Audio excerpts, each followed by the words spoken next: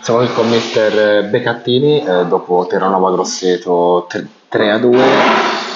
Un Grosseto che era partito bene nei primi 20 minuti. Eh, che cos'è successo dopo, secondo lei, del Grosseto? No, il Grosseto mi interessa e non ne voglio nemmeno parlare. Eh, io penso alla mia, alla mia squadra, Eh, la sì, nostra squadra il primo quarto d'ora 20 minuti secondo me ha approcciato nella maniera giusta, eh, ha peccato un po' perché forse siamo fatti trovare impreparati e sicuramente eh, l'abbiamo preparata anche nella maniera giusta perché ci hanno colpito dove a noi ci fa male e invece i ragazzi hanno avuto un'ottima reazione ma detto questo non è che noi si sbagliamo 20 minuti perché i primi 20 minuti sullo 0-0 si è avuto un'occasione nitida e Sì, sull'1-0 Sacconi si è presentato solo davanti al portiere per pareggiare quindi non è che noi si era fuori partita noi No. si era dentro la partita come c'era il Grosseto poi abbiamo avuto la fortuna di trovare il rigore con Marini e da lì la partita è cambiata Un Terranova che comunque ha giocato una gran partita eh, con, grandi, con, con grandi individualità. Dove può arrivare questa squadra secondo lei?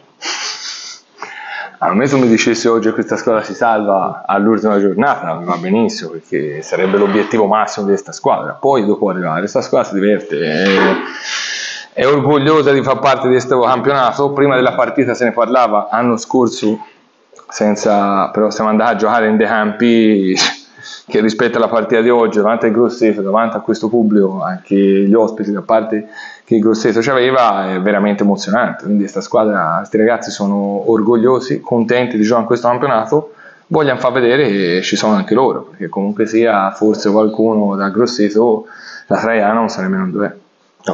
al Señor de.